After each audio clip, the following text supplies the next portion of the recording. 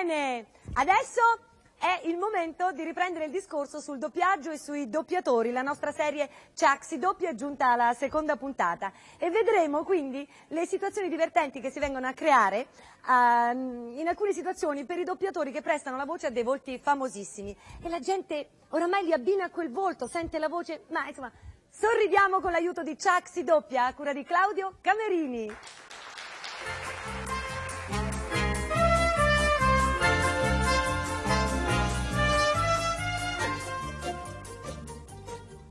Io, guardi, non ho ascoltato nemmeno una parola di quello che mi ha detto. Ah, no? No, ero completamente distratta da questa voce, questo suono. Ma lei è Paul Newman? Ma no, io... Sì, è Paul Newman. No. Marlon Brando. Ah, no, no. Jack Lemmon. No, guardi, io sono il doppiatore di tutti questi attori. Sono Rinaldi.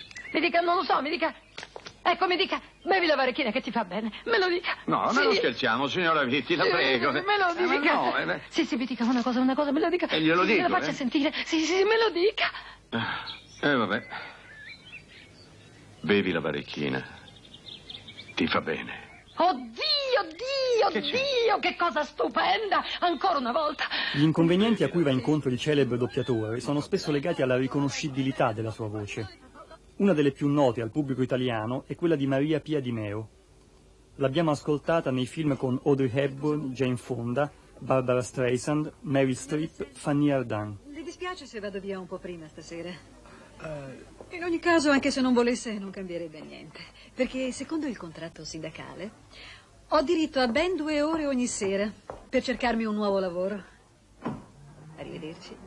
È chiaramente un handicap per un doppiatore sposare eccessivamente una faccia sullo schermo, perché poi quella voce viene identificata con quella faccia. Allora quando io adesso parlo o doppio qualche altro attore, dico, ah, ma la voce di Walter Matthau, no? È tutto in perfetto orario, sono qui in sala operatoria. Però ho dato uno sguardo alle lastre e ho paura che dovrò fare qualche ritocco al mio onorario. Lo so che le ho fatto un preventivo per quei tre denti cariati, ma sa, ci sono degli imprevisti. Lei sa se Mattau è soddisfatto o no del suo doppiaggio? Non ne ho assolutamente notizia. So che a Roma in questi giorni sta girando, ma chiaramente io non vado a disturbarlo per, per incontrarlo. Comunque non ha neanche protestato. No, per quello che mi risulta, no. Lei sta rendendo molto difficile trovarla simpatico. Ma non si sa mai. Tienila da conto. Tra gli anni 30 e 40, Tina Lattanzi è stata la voce di Greta Garbo, Marlene Dietrich, John Crawford, Rita Hayworth, Greer Gerson, Myrna Loy. Ha proprio ragione. Se ti facessi la barba saresti meno scostante. E poi vuoi dirmi perché hai chiamato il mio pubblico gentaglia incolta? Ricordati che ci dà da vivere. Il timbro scuro e profondo, quel favoloso birignao di origine teatrale, hanno veramente marcato il gusto di un'epoca. Non fare domande sciocche. Succede che il doppiatore si senta Marlon Brando qualche volta.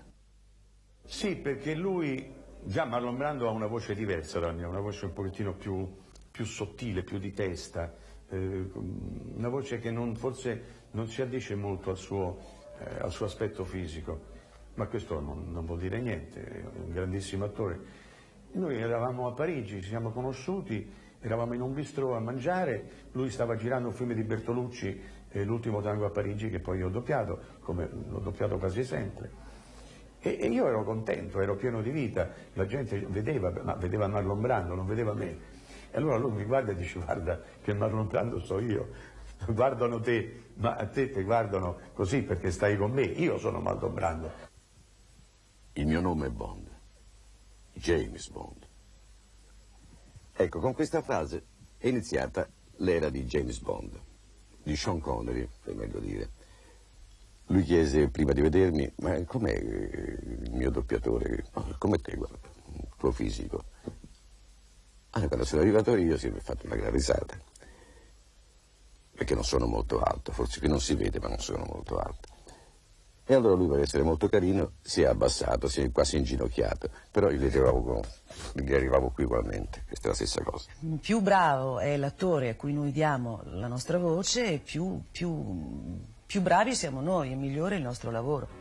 C'è un tizio che scommette con gli amici di riuscire a portarsela con lui a Lavana. Per convincerla a farsi seguire a Lavana, sai che fa? Le promette di consegnarle in cambio alcune anime di peccatori pentiti. Spesso mi succede che eh, mi chiedano Ma lei quando torna a casa la sera, signora, eh, che voce adopera per salutare suo marito? Come gli dà la buonanotte a suo marito? Ecco, la voce di Elizabeth Taylor o la voce di Jean Moreau o la voce di Liza Minnelli o che ne so. Ecco, questa è una domanda che io trovo estremamente irritante perché se me la fa il panettiere mi va benissimo, ma se me la fa un giornalista, ehm, insomma, in genere rispondo in maniera abbastanza aggressiva.